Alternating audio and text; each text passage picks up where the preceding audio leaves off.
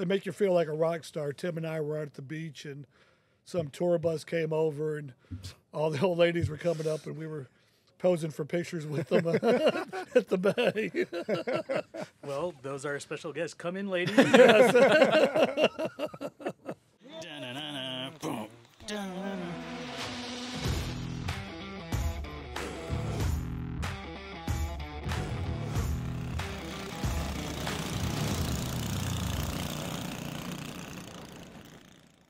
All right, and welcome back. This is episode five of Mini Biking Ain't Easy. It's hard to believe that we're already at five, which is pretty quick. Uh, to thank, I've got my main man Zane, producer over here. I got Bernie on the ones and twos, what up? What up? and then we have a special guest, uh, the owner of Go Power Sports, aka Pops, David Merrell. How's it going? Doing well. Good to be with you. Yeah, I'm glad you uh, had time out of your busy schedule to hang out with us. What was the meeting before this? I think he was out golfing. Was that right? Yes, it was a golf outing. All business, though. Okay, well, good. Well, I'm glad you're back. So, a few questions. So, you're my dad. Yes. Is that a question? That that's like a lead up, really. So, how long have you been with the karting company? Uh, started, of course, uh, Rockwood Go Karts uh, in 1987. Uh, I was still in the military at the time, so worked down at the go kart track part time.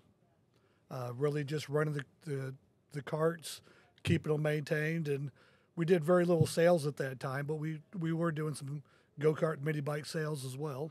So, military full time. You are then part time at the go kart track. Yes. My recollection is because you had to put diapers on me. that was it. Uh, uh, E5 in the military wasn't making real good money and uh, needed some extra money, so that's what it was all about. So, why the go kart track out of all the other places around? You know, they had an ad in the uh, in the base paper, so it was right there, and it seemed like something kind of fun to do uh, rather than work at retail.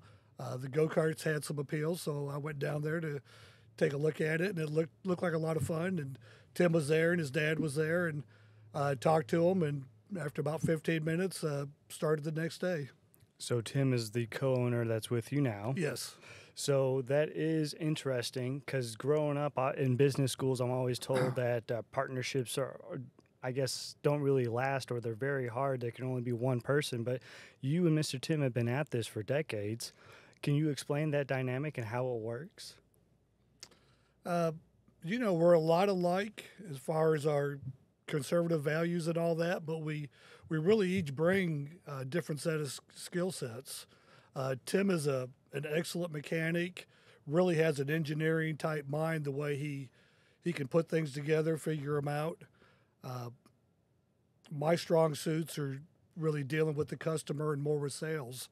So really, we overlap some, but really I take care of the sales portion of it, and uh, and Tim he does a lot with the engineering. He's developed some some really good new products.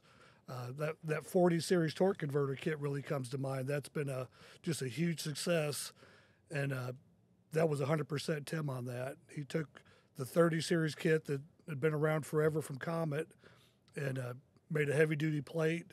Did all the engineering and came out with just a fantastic unit. And uh, there's been many other examples of that as well. So before you jump on with uh, with Rockwood go karts, did you have any uh, experience with mini bikes or go karts before then? You know, I never owned one as a kid. We had them in the neighborhood, uh, some go karts and mini bikes. So that was really my only real uh, experience with the go karts and mini bikes.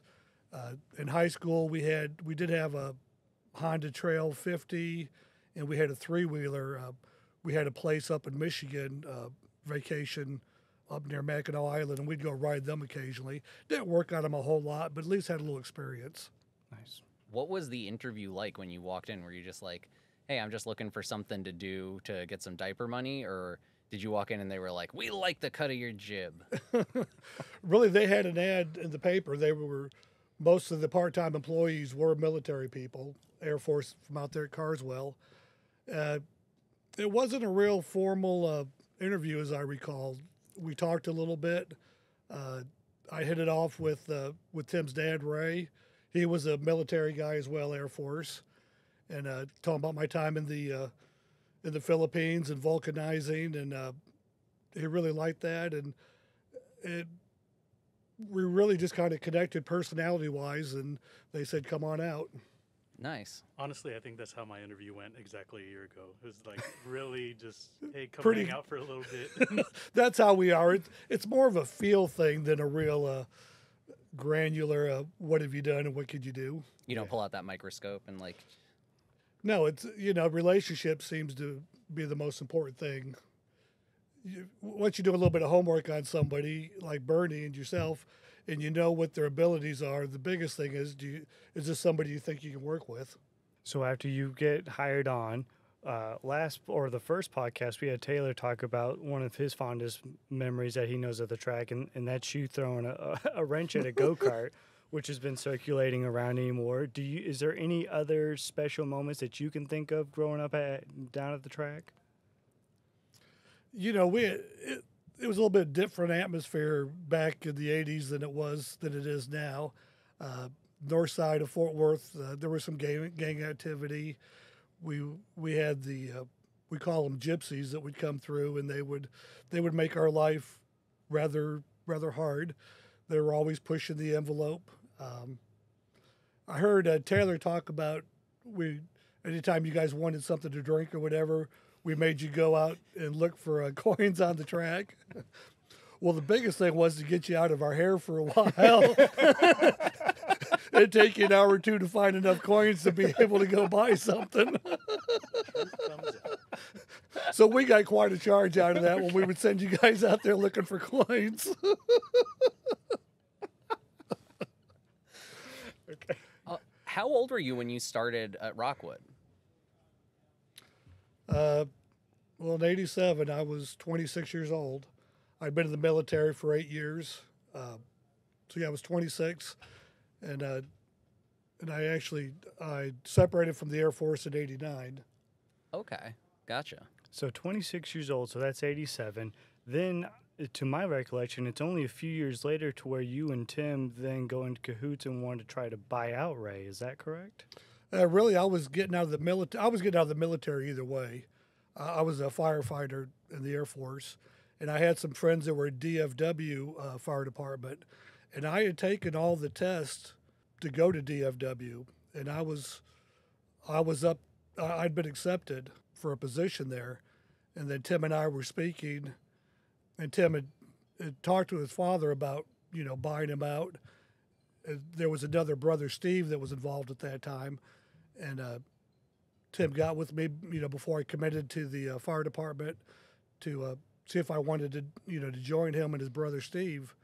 After thinking about it, it, I saw a lot of potential, you know, not just the track, but we were doing some sales and uh, we had a, a pretty good area where we were selling the Manco go karts at that time.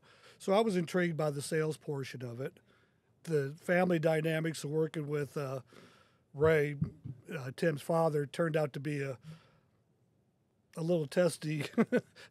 uh, so when I got out in '89, I went on full time as as soon as I got out of the military, and then we started the negotiations with uh, with uh, Ray.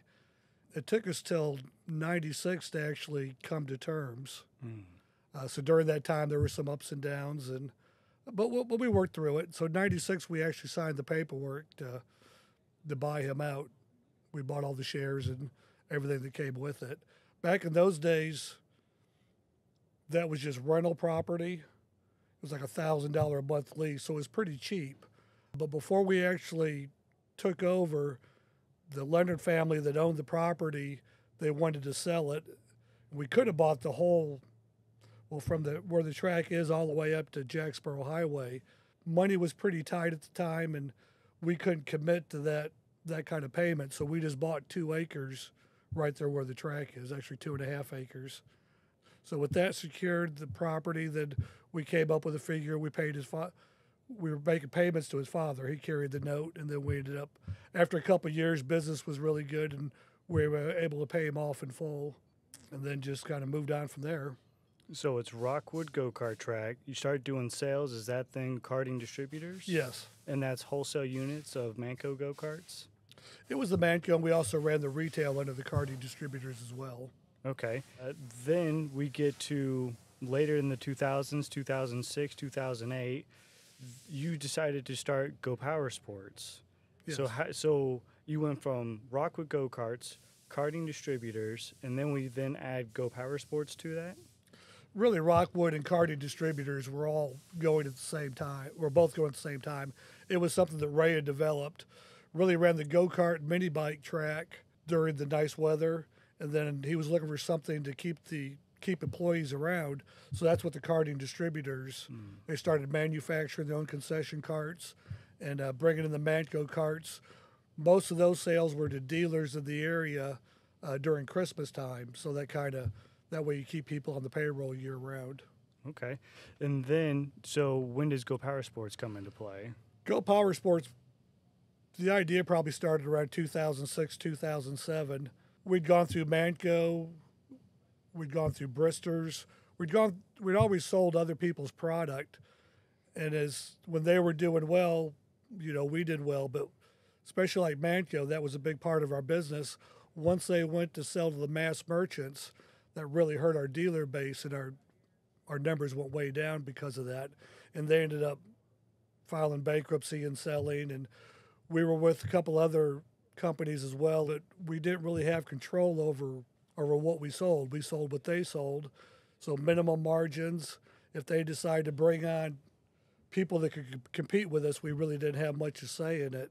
So that's where Go Power Sports, something we could control ourselves.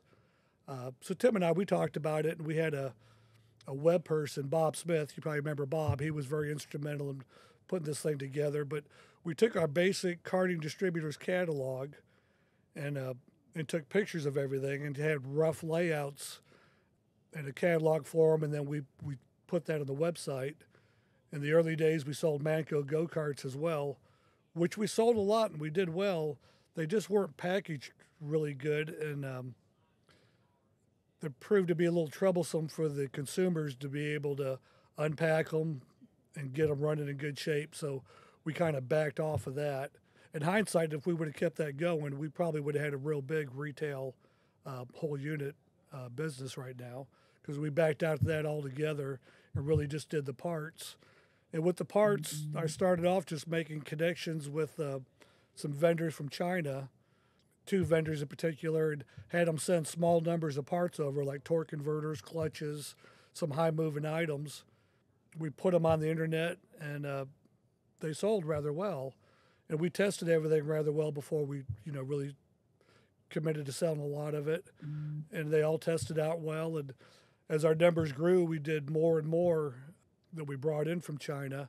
And then once it came time to start writing some big checks, uh, I went over there to to personally visit these vendors.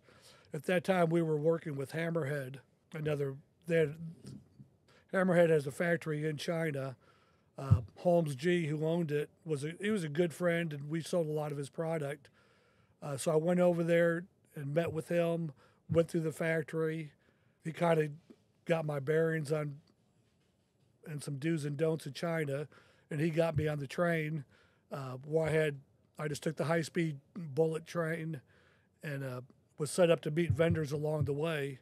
Uh, fortunately, everybody was there when they were supposed to be there and and uh, and led me around. I don't speak the language at all. Once I'm there in Shanghai, I'm starting to think, you know, I, I sure hope these guys are honest and, and up and up because otherwise I can't communicate with anybody or or know where to go. And uh, but that first trip was really good. Saw four different vendors. They couldn't have been nicer. They picked me up from the hotels, uh, fed me well, showed me their facilities, met a lot of their families, and still today when I go over the, to China, very good relationships. We always go out to eat. Uh, the families come along. Uh, it's a really good experience. I, I really enjoy going to China. Have you guys ever gone to China together? No, we have not. Oh, Uh, Tim and I went, brought Tim over last time. Uh, we, we went over with Trailmaster uh, Mike, one of the owners over there, uh, and he showed us around a really good time. We saw the vendors. Plus, we went over to uh, Hong Kong and spent time there. Hong Kong's gorgeous. I It really Hong Kong. is. Yeah. I enjoyed it. Really enjoyed it. They make you feel like a rock star. Tim and I were out at the beach, and some tour bus came over, and all the old ladies were coming up, and we were posing for pictures with them at the bay. Well, those are our special guests. Come in, ladies. But no, that hopefully that's on the books at some point because I definitely do want to check out China. I do want to see the other side of the operations. yeah, yeah, definitely. in the warehouses. I, I know you plan on going sometime this year, but hopefully within the next couple years, uh, you ha- you saved me a, uh, a plane seat, so you and I can go check it out. We definitely will. The way I'm doing it now, since mom's a Fili- Filipina and we go to visit the Philippines occasionally, this summer I'm going to the Philippines, and that's a pretty long flight.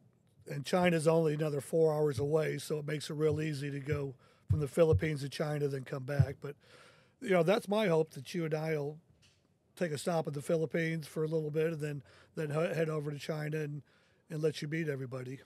So one of the misconceptions that a lot of people had, and I know that I had, especially with you going to China, is that anything bought from China is cheap. But when you go on this trip, you then realize, well, it's only cheap if we ask it, if the consumer asks for it to be cheap. But China in itself can make quality products up to specs if you ask them to and are willing to pay that. Oh, definitely. And that was one of the first vendors that I dealt with at the uh, at the clutch factory. You know, I can sell you what you want. I can sell you a four dollar clutch. I can sell you a six dollar clutch. I can sell you an eight dollar clutch. I'll sell you the four dollar clutch if you want it, but I'm telling you right now, you probably won't be happy with it. The labor involved, the material that's used, uh, it's up to you to choose what you what kind of quality you want and we make that very clear with all of our vendors. We want the top quality. It's only a couple dollars more, and the extra cost is more than really out what the benefit is. You just don't have the returns. You don't get a bad name. You sell it one time, you're done with it. What's expensive is selling something cheap, and then you get a bad reputation. You have to send a replacement once, twice, three times it just costs you more in the long run. And that's one thing I think that Go Powers has a Go Power Sports has a leg up on a lot of other businesses like eBay and Amazon. Because yes, they will sell stuff cheap, but when people buy from us, they know that we're testing it. They know that we're asking for the highest quality grade at the best price possible because we're going to buy it in bulk. So I think that is a great thing for the consumers to know that no, we're not just out there buying as cheap as possible, flying it in, shipping it in, and trying to sell it to y'all we're actually going through and testing it all and make sure that if it's something that I would personally put on my bike, I also want you to be able to have, you know, the same benefits as well. That's absolutely true. If if we're going to sell it, it's going to be something we would use on our own. Uh, again, it's just too expensive selling something cheap. You you don't save any money. It costs you money in the long run. Uh, we research things. We buy most w- the main parts we buy. We're buying directly from the manufacturer. We're not buying from the trading company. We, we go to the manufacturer, we talk to the owners, we talk to the engineers, we see their testing facilities, we give them specs that, that we're looking for, uh, and we're really happy with, with our relationships. All right, so we're going to take a quick break. We'll be right back after these messages.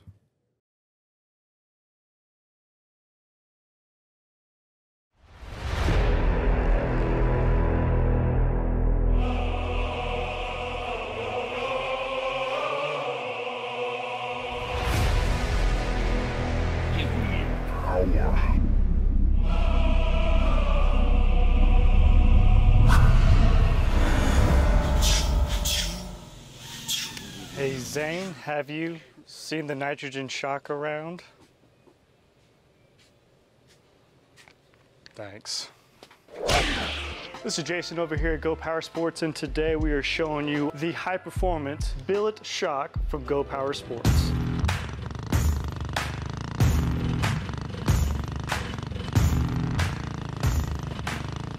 This is 11 inches from mounting hole to mounting hole. This will hold a 10 millimeter bolt. So here at the shop, we put these shocks on just about anything we can. Right here, we have it on a Mega Moto 80 frame. This is customized. We have our own little swing arm that we've created that will be available soon. These are an adjustable preloaded spring, so you can adjust how hard or soft you want your ride to be. These are nitrogen filled from the factory. Now these are exclusive at gopowersports.com. Make sure to pick up a pair of these nitrogen shocks and we'll get them shipped straight to you. Later.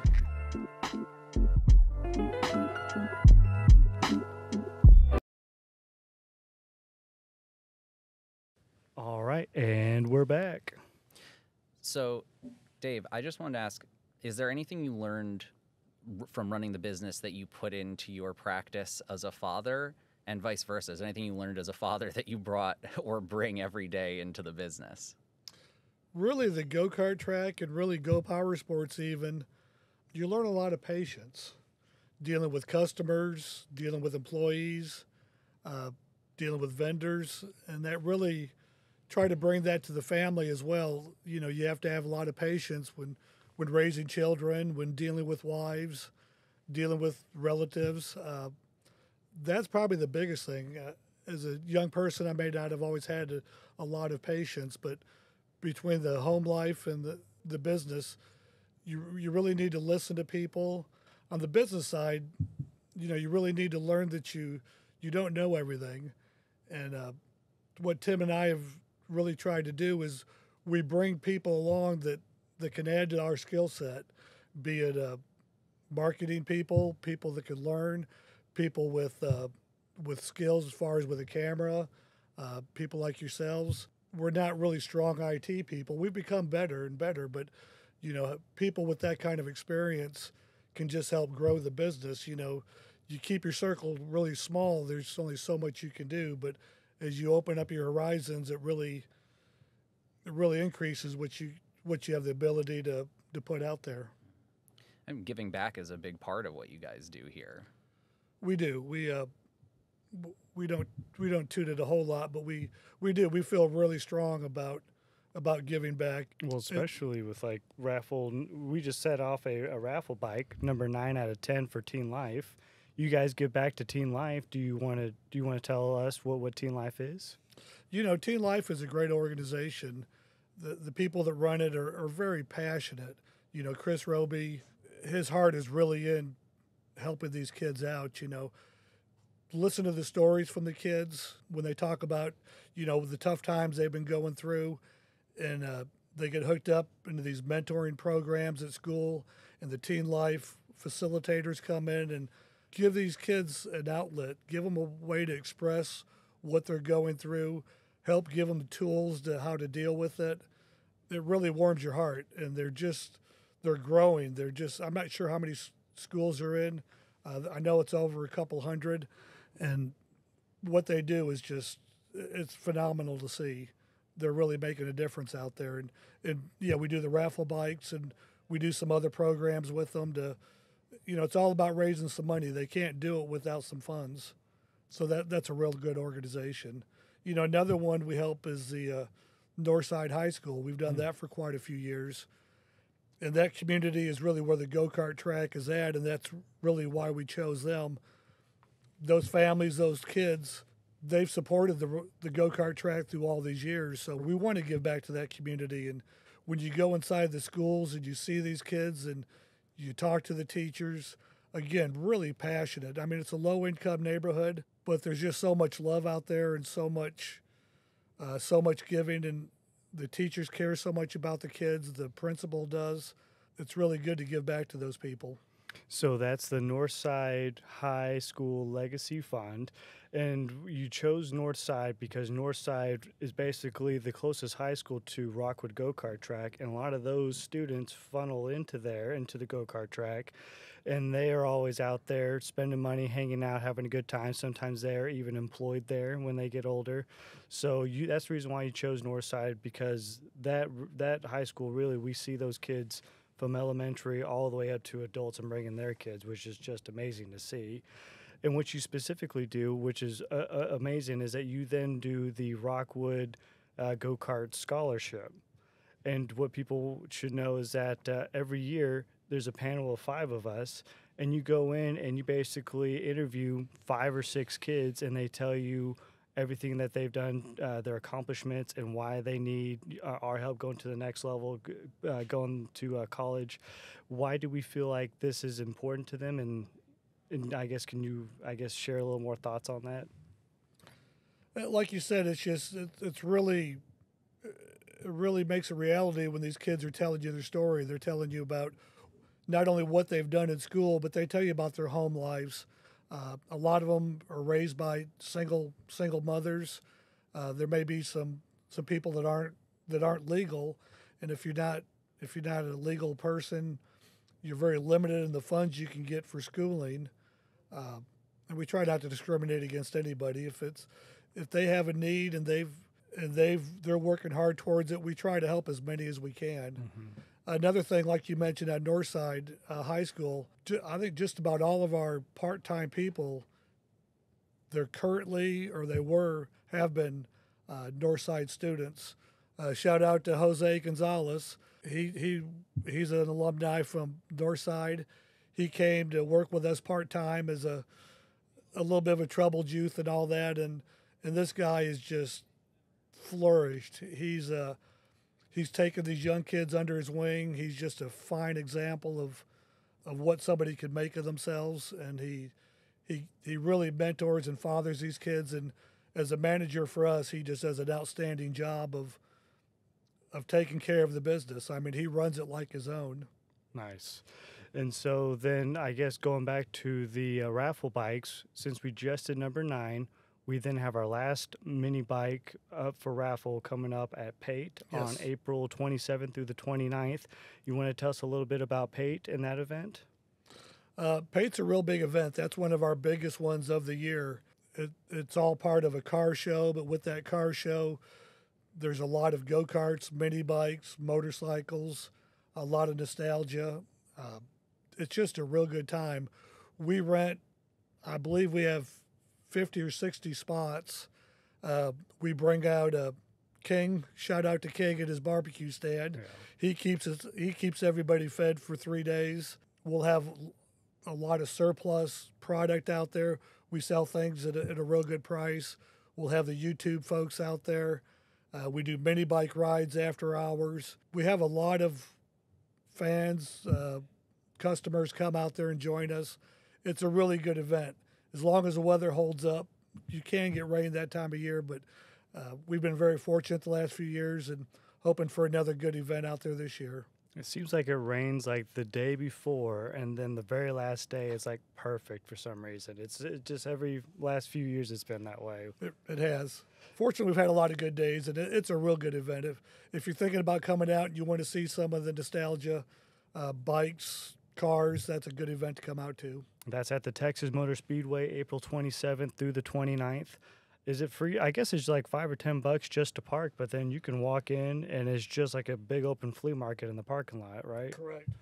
You can get home decor, you can get a, a light bulb for an old Chevy, seats for an old Novo. Jimmy Hoffa's body. If you want something old and nostalgia, maybe somebody's junk, uh, but a lot of times that's somebody else's treasure. Yeah. So then after that, after the Pate swap meet, we then have our first annual pull start picnic, which is a mini bike show. What are your thoughts on this? I know you're not too, too deep into the planning. I am not too deep in the planning, but to my understanding, that will be at the go kart track. Uh, people come down and they can have a good time riding go karts, miniature golf. If they want to sell their wear, uh, their wares, you know, go karts, mini bikes. If you want to buy something, uh, we'll have quite a few vendors out there. We'll have a lot to, to see. I'm not sure if we're going to have any cars out there or not. No cars. Only no cars for this lot. event, Just just go karts, mini bikes. I'm wondering if we're gonna have enough spots because we're saying that every person can bring up to ten mini bikes to enter in one of six classes. Okay. Okay, so I'm gonna teach you real quick. So we got six classes. It's uh, it's rat mini bikes, off road, vintage, wild style, which is anything open, drag, and micro. Okay. We're then going to have six special honorary guests be get flown in and drive in for like like cars and cameras. Our guys from from California, Arizona. We're gonna have specialty guests, then judge each one of those classes. We're then going to have our GPS overall picks, or the guys from Go Power Sports all convene. We somehow all agree on one bike to be the, the top one. That'll be interesting. And then we're also going to have a people's choice to where when people walk in, they'll get two tickets, kind of like because we give two tickets now. So you, you, you come in, Okay. you see the Go Power Sports booth. I'll give you two tickets. One ticket, you're going to go into a raffle, which will mean that uh, you could win a Little Rascal mini bike kit, undone. Okay. And then we encourage you to, with that, if you win, to go ahead and paint it up, do it up, bring it back, and enter it into the second annual Pull Start Picnic. But then with your second ticket, you're going to go to whichever mini bike you want. Overall, doesn't matter which class, you can put in a Go Power Sports bucket, and whoever at the end at 3 p.m. has the most tickets in their bucket will be the overall uh, customer pick. Mm-hmm. Crowd Look favorite. forward to that. Okay. That should be fun. Like you said, uh, I hope we have enough space for everything to take place. yeah, because I'm thinking like a couple bounce houses, uh, four food trucks. Yeah, because Rick alone is bringing 20 bikes from Bust Knuckle Build. Uh, it's limited to 10. him and Brandy, Him and Brandy. Okay. which we will allow that. That that is fine. This is our first annual. I'm kind of excited. I'm kind of nervous. I wonder how many people we're gonna have out there. you know what? It's going to be a learning experience for everyone. Yeah, hopefully we blow the uh, the doors off this thing. Uh, It'll be good. It'll be a good event with with everything there is to do there with the food trucks, with the go karts, Yeah, with the mini golf, with all the. Anytime the community, the go kart community, mini bike community gets together, it's a good time. And I don't know if you know about this, but then that's on May 20th. Pull Start Picnic is May 20th, a Saturday from 10 to 4. Okay. But then Sunday, we're then all loading up, going down to Temple, Texas for our first ever drag mini bike series. Did you know about this? I've heard about that. I didn't know we had a date in stone, but uh, Busy weekend. Yeah, thank you for the uh, for the heads up. it's hard when you're out golfing all the time. Well, that's true. And now you can't say no because you're on a podcast. when you have such good people here all the time, I, it, it allows me, frees me up to do that kind of stuff. What is your handicap now? I'm about a 10 handicap. Very nice. I'd like to get down to single digit. Oh, okay. One day at a time, right? That's it. That's the reason why you've gone throughout the whole week. Well, I, you know, I just can't seem to break below that 10, so I, I just got to keep working Keep at it. working at it. That is fine. So yes, uh, our first drag mini bike weekend will be down at Temple Harley Drags. Okay. Down in Temple, Texas. There'll be Friday, Saturday uh, riding. We'll have the show and we'll have people in town, so we'll, we won't be there Friday, Saturday, but Sunday. Anyone who wants to mini bike drag race with us, against us, we're going to be down there like at 8 a.m. We'll have a booth. Bring your mini bike. Uh, we'll have a link down below just so that you can get more information on this event. Uh, but you know that this year is the year of the drag mini bike, right? Well, of course it is. We're excited about it. Right now, Taylor is in the midst of coming up with like our little rascal kit, but in a drag frame. And speaking of drag bike, so last weekend you just saw our resident uh, drag racer Flacco. And how did he do in his 100 foot debut drag race? He did fantastic. I think it actually turned out to be a 60 or 70 foot Oh, man. drag. He did fantastic. The the arena they had to drag race did have a was not large enough to accommodate the 100 yards, but I tell you what, he was fantastic. The first couple runs, he wheelied on a few of them, but once he got that dialed in, he was fast. Uh, Rick Watson, he was extremely fast out there as well. There were probably another three or four bikes that they were within tenths of a second. Uh, it was really impressive to see. There were a lot of really, really competitive bikes out there. And what's crazy is because the bike that Flacco on, if that Flacco is on, is kind of like a clown bike because it's a little rascal that's just extended down. A little rascal is already like a tiny bike Yeah. as it is. So he's at a disadvantage, but then again, it looks so cool because it is like a slammed drag bike as close, it's just as, as close to the ground as possible, which is nuts. Did you get behind or around that engine whenever they fired it up? Oh, I was there. It was rather loud. Okay. Yeah, I can feel my soul leave my body every time they rev it up. I have a picture of him sitting on the bike. I will uh, throw that up. Okay, Okay. let's throw that up somewhere here. so, um, so yeah, this is the year of the drag bike, but you've seen this this sport, this hobby, this lifestyle. You've seen this grow uh, from back when you guys were just selling Mancos out of the out of the Rockwood. Um, where do you see it going? Where do you see mini bike and go kart ownership and the culture that comes along with it going in the next couple of years? I see it uh, on the rise. You know, it, the, the mini bikes have been around for a long, long time, and they were hot and cold. But in the early days, the go karts were definitely uh, much more popular than the mini bikes. But we've really seen the mini bikes, I'd say, in the last five years, really take off. Uh, you know, we sell a lot of the Trailmaster. There's a lot of the Coleman out there. Uh, there's really a lot of product, and with that has really raised the interest. And once people get a get a taste of it, they really enjoy it. Now we're just going faster and faster. You know, we do the the stage one kits, the stage two kits, and we try to do it all safe. And, and that's the big thing. We really promote people to wear their protective gear and their helmets. Uh, but there's a lot of these we call them backyard racing racers, if you will. A lot of communities, and I think it's I like to see it. A lot of families are involved with it it brings a lot of people together. It's fairly inexpensive, and uh, you know you have to have some kind of ground rules so everybody is competitive. But I think that's going to continue. Um, we brought out the Rascal and Little Rascal a couple years ago, and those have been huge successes. Uh, we bought the Mega Moto, where we have the 8105 and the 212, and it started off a little slow selling the kits, but the, they've really hit their stride. Those have become very popular. Uh, Jason put together a kit with the 212 that that has performance package with the engine, and people can buy that real easily now as a as a complete kit to put together, and they really like that. And uh, I just see it on the upswing. I really do. All right, so for 2023 in Go Power Sports, what are you most excited about? It's probably the drag bikes. You know, that's really what we've been pushing the last couple months, and there's quite a bit on the table. I think the drag bikes are probably going to be the biggest thing. On top of that, we're we're really trying to perfect what we're doing out there. We've with the kits and everything that we offer for performance. What what is the point of the kits? It's to make it more accessible for more people to get onto these things, right? Really, it is. The kits are designed with the idea of making it easier for the for the consumer to choose what he wants. If he wants a drag setup rather than go through all the different cams, the different flywheels, we've already done the homework for them, so we can give him a nice starter kit. We can give him a, a stage one kit, or we can give him a real performance kit, depending on what what they want to do, what they like to spend on it. And the same thing with the off-road kits. We've already done the homework, so we know what works together and and package it. And we package it, we try to make a little better pricing and give the consumer what they're looking for. Yeah, because those swing arm kits did really well. Mm-hmm.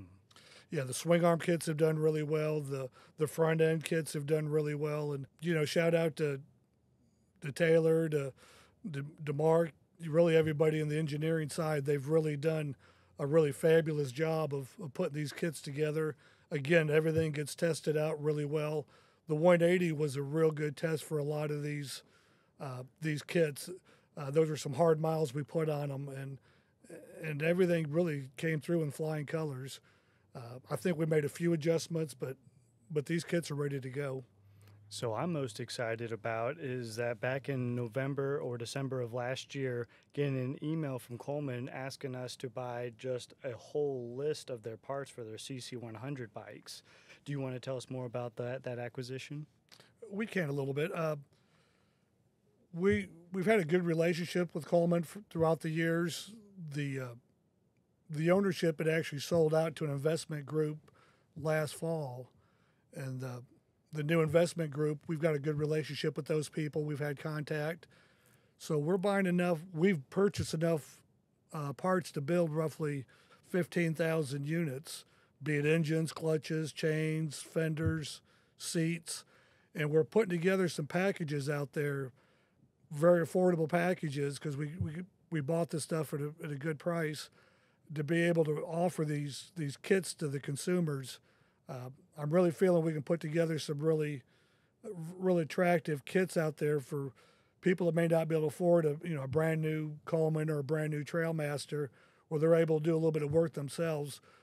They can take an old frame and use these parts to put it together, or or or just we're working on putting a kit together with a frame and all these parts. Should be a real attractively priced uh, setup with that. Will people be able to find those uh, Pate? We should be. Yeah, we'll definitely have a lot of parts out there. I don't know that we'll have our own frame. Gotcha. We're really working on putting that kit together with the Mega Moto 8105 chassis, and I think we've got that about hammered out. And there'll be a bunch of those those out there for the Pate swap. Nice. Okay. So if you've been waiting to get in on the mini bike game, Pate's a good time to start. It really is. We'll have a number of uh, scratch and dent sales to go along with that as well. So if you're looking for a smoking deal, Pate will be a good place to pick that up. Gotcha. So just to get us in the timeline, okay, so we've already purchased all these parts. We now have a third warehouse where we have just have truckloads by truckloads by truckloads still coming in of all these CC100X and CT100U mini bike parts. Are we still receiving in trucks? Are we, do we have everything yet, or No, we don't. We received two trucks this week. I'm thinking we're down to the last five or six truckloads. Okay, because I know that we've already opened up a little section on our website for Coleman parts, but we have even more parts that we need to add to here. Is Oh. that correct? Definitely. Uh, yeah, check us out. You want some some very well priced uh, Coleman parts? We, we have them out there, and, uh, and it really it makes us feel good to be able to offer these. En- we have these engines on sale for seventy nine dollars. You know, th- that's something that normally retails for one hundred and fifty dollars. We also sell that engine with a clutch and chain kit. And it, it really makes us feel good to be able to offer that kind of product at that kind of price. A lot of people that couldn't afford it, you know, now they can afford it. And and at the end of the day, everybody wants just to have fun. And as long as people out there having fun and it, it warms our heart, and we make a buck doing it, but it's not a, it's just not about making the money. It's it's being able to offer this to people and know they're going to have lifetime memories from it. And this se- and this uh, seventy nine dollar engine isn't just a floozy engine; it's a ninety eight cc engine. It's actually on this beautiful little rascal behind you. So that's the 98cc engine has more than enough to pull me around. Where the 79cc, it, it was good. It was more geared towards younger children, but this 98cc, I feel like is a good in between, with where a kid can ride it, uh, but definitely an adult like myself can ride it. Oh, definitely. And with a 79cc, you were limited to just a centrifugal clutch. With uh, with this 98cc, you can even run a torque converter on it. So if you want to start a young child off on a clutch drive, you can do that. If you want to, if they're ready to go off road a little more, you can add the torque converter kit that we have for it as well. Uh, we're working on doing some more performance parts. It'll never be the performance of a 212, but a nice introductory engine where you get people started on it, where they get get comfortable, where you're not scaring somebody where they don't want to they don't want to continue with it. It's a real nice starter machine, and then they can progress from there. So I can't help but think that 98cc is good on a small mini bike just because it is only two wheels. Have you thought about a small time go kart like uh, like the Coleman or the Mega Moto K100 or whatever they call it, like the small kids go kart with that with that same engine? Have you thought about that? We thought about it. There's really nothing in production right now for it. We do offer a similar version in the Trailmaster, the little mini. Uh, but that's a kit, and even with the cart fab kit that we sell, that's an engine that you could put on there and it would push you around. Uh, if you wanted to, you could even use it on our vintage kit. You know, for a younger a younger person that you you really want to limit how fast they go. So we do have some machines you could or some frames you could put it on. Uh, but that's in the works as well, doing a mini go kart that that would accept that engine. Nice.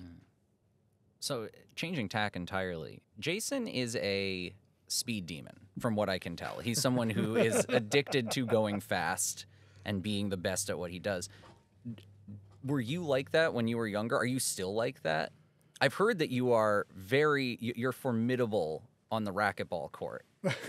Multiple people have told me if he if he challenges you to racquetball, don't take him up on it. He's very good.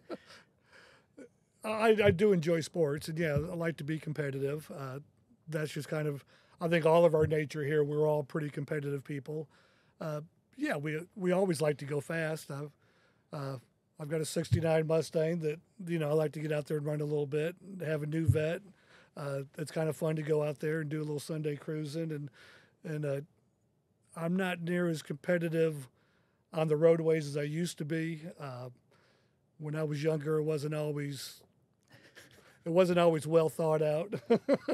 uh, You may may or may not have been the person not wearing a helmet riding around. uh, no comment. Yes.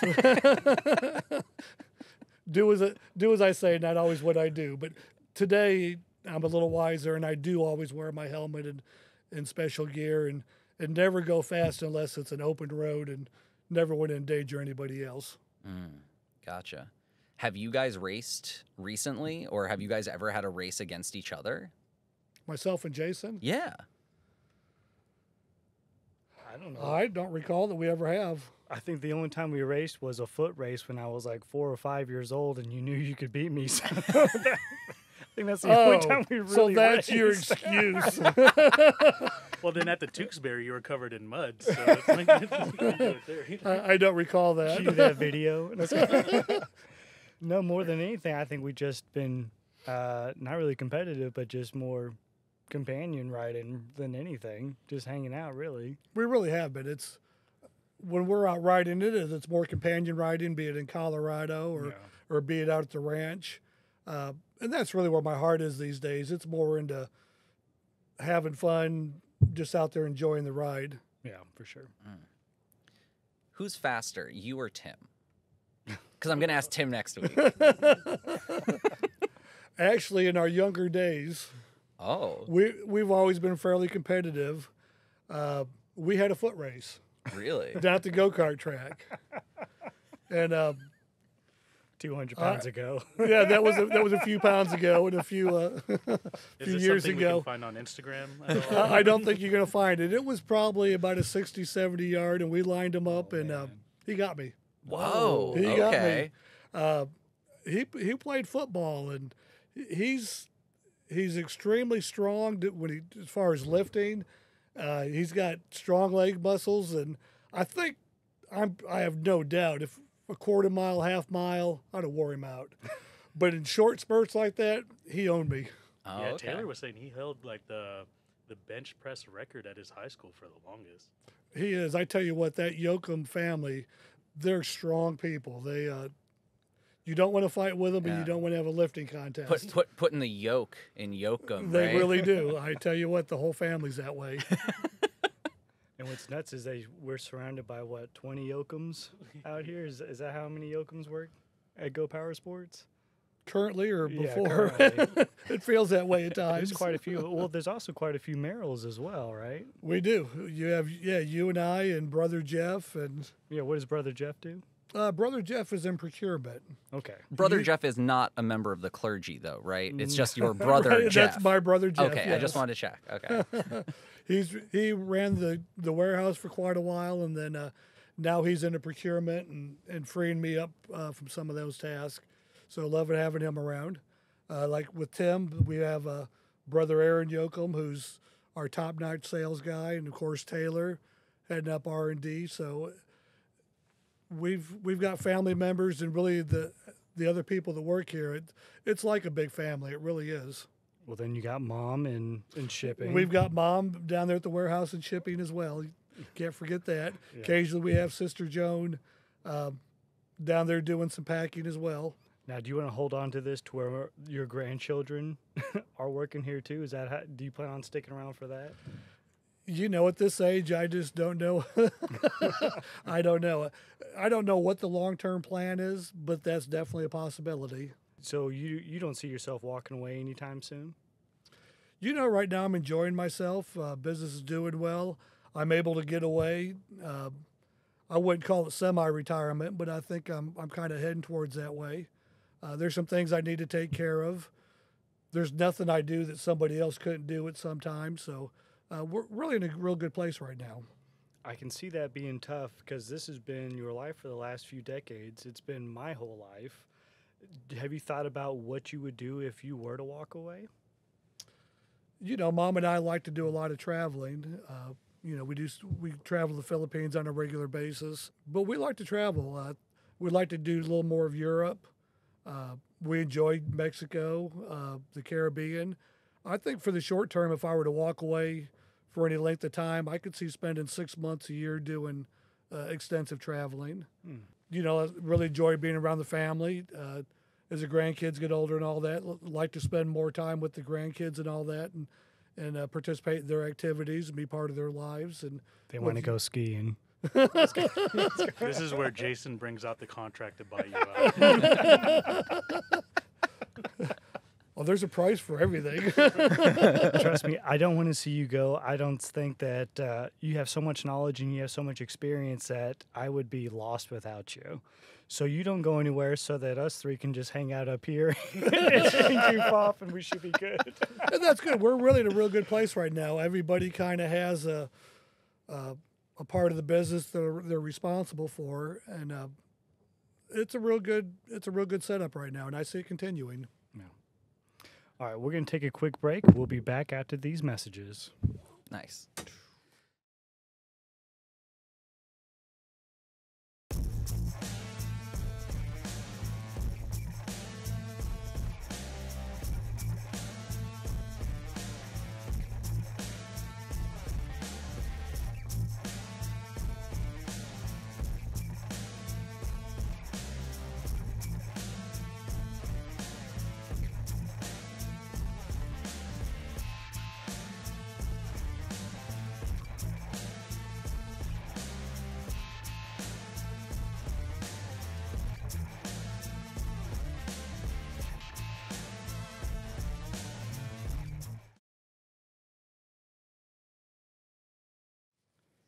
And we're back. So Dave, what what advice do you have for Jason as like a father? I'm sure you guys have discussions outside of work and stuff, but um it's kind of cool that you guys get to work together. Like I've never I like I've gotten to travel with my dad, but he and I have never really worked together in any way. So it's kind of cool that you guys get to collaborate and work on something. And this is a thing that you guys have been building together for the past decade, right? Now, because you've been working on. You've been here at GPS and Yeah, but I, I mean, even just growing up with it being daycare, so it's Yeah. been my whole life around this. Yeah, what kind of advice you got for me? you know, we've we've always had a good relationship. You know, growing up, you down the track. I remember some days you wanted to go, some days you may not have been really into it because for a young person, there's it's fun for a short amount of time, but after a few hours, it gets kind of old. But but you were always there. You always did whatever needed to be done. You did the travel hockey and all that. We've always we've always been fairly close, and we were always able to get along, talk things out. Uh, really never had any real problems. You know, the the advice I would give is what I've given, what I've tried to give ever since you were young is just, you know, to treat people like you want to be treated. That's probably the biggest thing.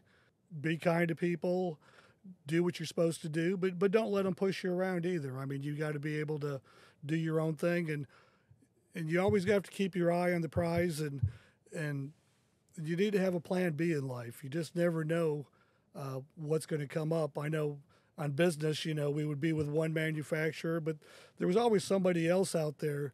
Uh, when Manco went down, we had Hammerhead. When Hammerhead went down, we had Trailmaster. We were always kind of looking to what's what's the next step. And like you and in the marketing, you know, you've done a really good job. You've really taken it to the next level, and I know you're you've taken what you've learned and and just kind of seen how you could apply it. Some things are successful, some things okay, well they could have been done a little different, but you never know unless you try. And uh, and I really applaud you. You you're willing to try things. You have a common sense approach on what you what you do and how you approach people. The way you treat people is, is beyond reproach. I mean, you you really do. You treat people like they're brothers and, and sisters, and, and they're part of the family, and that that says a lot. That warms my heart as a as a father. Well, one of the coolest things growing up that um, I've always admired you on is that you have trusted me 100%, which is nuts because I'm just a kid figuring things out. I don't even have the answer, but the fact that you would instill just trust and faith in me with big things, little things, you would give me the truck and say, go wherever in the US you need to, go haul this around at a young age, you know, here's something expensive in the back or take our brand new RV across the US or whatever and no matter what, you never batted an eye. You always trusted me, and I thought that was the coolest thing because now with my kids, I'm like, there's no way I'm trusting these kids. but the fact that you did it ever since I was at a young age is it, it's nuts, and I was let you know that I appreciate that more than that's one of the biggest characteristics that, that I've noticed that you've given me, and I was going to tell you that I'm eternally grateful for that. It's like you trust me, you've given me enough rope if I was to, to hang myself or whatever, but either way, you were always there for me. So thank you. Well, I appreciate that, and really, that's how it goes. I give you enough. There's enough trust in you, but if you make a mistake, you know there's going to be consequences. And really, I can't think of when you ever let me down on anything. I mean, you you came through, you did what as far as I know, you did what you said you were going to do, and you didn't get in trouble. And as a child, and I was that my parents gave a lot of trust in me, and kids are going to make mistakes. Yeah. But the kids that can make mistakes, and if you don't go to jail and you don't hurt anybody, that's just part of growing up. And and there's nothing wrong with that. Everybody's going to make mistakes. The parents don't need to know every little thing. Yeah. Uh, and your sister's the same way. She's never let me down. I don't think she's ever done anything I don't want her to do, and uh, and I appreciate that. It, I appreciate you doing what you say you're going to do and and making it happen. Yeah, for sure.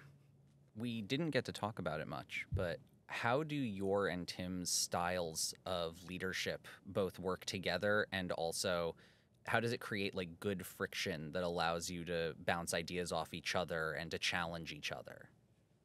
We've really never had a real, we've never had a strong disagreement on anything. We've been able to to agree on everything. It's it's kind of like if one one or the other of us will be passionate about something, and we have enough trust in each other, where if I come to him with something or he comes to me, and we want to take the lead on it, you know that person has thought it out, and and it's going to work. Uh, and if it doesn't work, we'll modify it. And if we do make a mistake, I make a mistake, I'll I'll own up to it and say, hey, this this wasn't a good idea and Tim has done that as well. We, I may be a little bit too easy at times, and he may be a little harsher at times, just our general personalities.